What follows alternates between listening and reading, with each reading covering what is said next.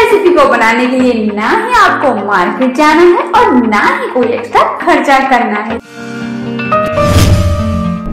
Hi everyone welcome to my channel tasty food दोस्तों, सूजी, बेसन और गाजर का हलवा तो आपने बहुत बार खाया होगा। पर क्या कभी गेहूँ के आटे का हलवा ट्राई किया है? इस वीडियो को बिना स्किप करे आप भी देखें। कि कैसे मज़ेदार सा हलवा तैयार होता है, वो भी बहुत ही कम खर्चे में। दोस्तों, आपसे रिक्वेस्ट है चैनल पे नए हैं तो प्लीज़ चैनल को सब्सक्राइब और वीडियो को लाइक शेयर ज़रूर करें। तो चलिए मज़ेदार रेसिपी शुरू करते हैं।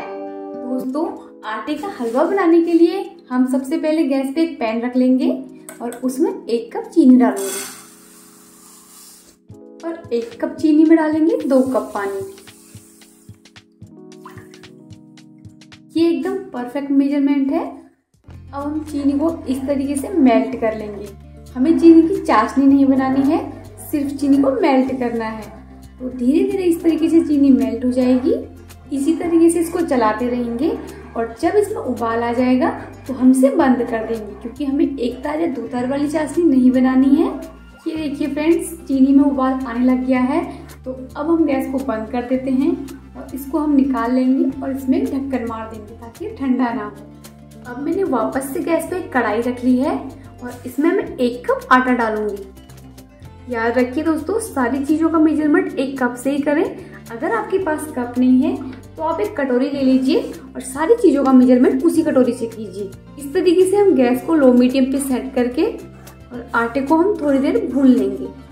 इसे हमें ड्राई ही रोस्ट करना है। कितने लोग करते हैं कि घी में इसे रोस्ट करते हैं? और आप इस तरीके से रोस्ट करेंगे ना, बहुत ही अच्छा टेस्ट आएगा। इसी तरीके से थोड़ी देर इसको रोस्ट कर लेते हैं। जब तक इसमें से अच्छी सी खुशबू नहीं आ जाती। इस तरीके से अगर हलवा बनाओगे ना फ्रेंड्स तो आपने गुरुद्वारे का हलवा तो खाया ही होगा। एकदम वैसे ही टेस्ट आएगा इस तरीके से बनाओगे तो। दोस्तों, सर्दियों में तो आपको इस तरीके से आटे का हलवा एक बार बनाना ही चाहिए। क्योंकि बहुत ही कम इंग्रेडिएंट्स लगते हैं और बहुत ही कम टाइम में ये बन के तैयार हो जाता है। और खाने में तो बहुत ही ज़्यादा टेस्टी होता है। इस रेसिपी को बनाने के लिए ना आपको दोस्तों, कोई भी सामान मार्केट से नहीं लाना है। जो आपके किचन में अवेलेबल रहता है ना सामान, बस उन्हीं चीज़ों से आपको इसे बनाना है। ये देखिए, अब आटा हमने भून लिया है। तो अब हम गैस को बंद कर देते हैं और इसे एक बर्तन में निकाल लेते हैं। अब मैंने गैस पे फिर से एक कढ़ाई रख ली है और इसमें मैं रख रही हूँ एक कप घी। जिस कप से हमने आटा और चीनी ली थी, उसी कप से मैंने घी भी लिया है। अगर आप घी ज़्यादा खाना पसंद नहीं करते हैं तो आप घी की क्वांटिटी कम भी कर सकते हैं। अब घी अच्छे से गर्म हो चुका है तो अब हम इसमें थोड़ा ड्राई फ्रूट भून लेते हैं। ये देखिए, मैंने थोड़ा काजू और थोड़ा सा बादाम लिए हैं। इन्हें हम इसमें रोस्ट कर लेते हैं। आप चाहो तो इसमें किशमिश भी ले सकते हैं। उन्हें पर थोड़ा पहले भून लें इनसे इनके साथ नहीं भूनना है।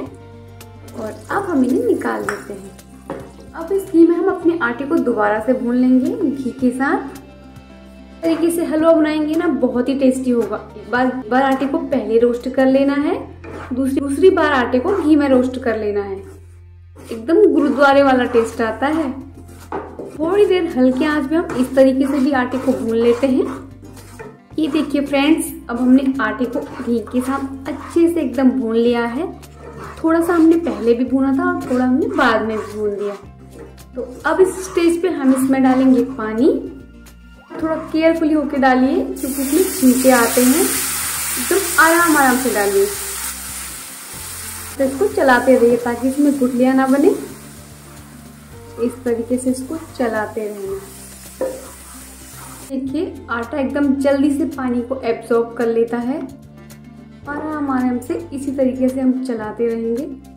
ये देखिए फ्रेंड्स अब ये थोड़ा थोड़ा करके ड्राई ड्राई होने लगा है। अभी हमको गैस को बंद नहीं करना है। सॉफ्ट सा हलवा बन के तैयार हुआ है। इसमें डालूँगी कटे हुए ड्राई फ्रूट मैंने इस तरीके से इनको कट कर लिया है। इसी तरीके से ऑप्शनल है। पसंद है तो डालिए, नहीं पसंद है तो स्किप कर सकते हैं। अच्छे से मिला लेते हैं। ये दोस्तों सारी तरफ़ से ड्राई होने लगा है तो अब मैं इसमें डालूँगी घी। इससे क्या हुआ कि सॉफ्ट हो जाएगा फिर से। हम फिर से इस तरीके से चला लेते हैं। ये देखिए, फिर से सॉफ्ट होने लगा है हमारा हलवा। फ्रेंड्स अब हम गैस को बंद कर देते हैं। और इसे हम गर्मा गर्म सर्व करते हैं। चलिए दोस्तों, गर्मा गर्म इसे सर्व कर लेते हैं। इस सर्दी आप भी बनाइए, हेल्दी आटे का हलवा और सर्दियों का मज़ा लीजिए।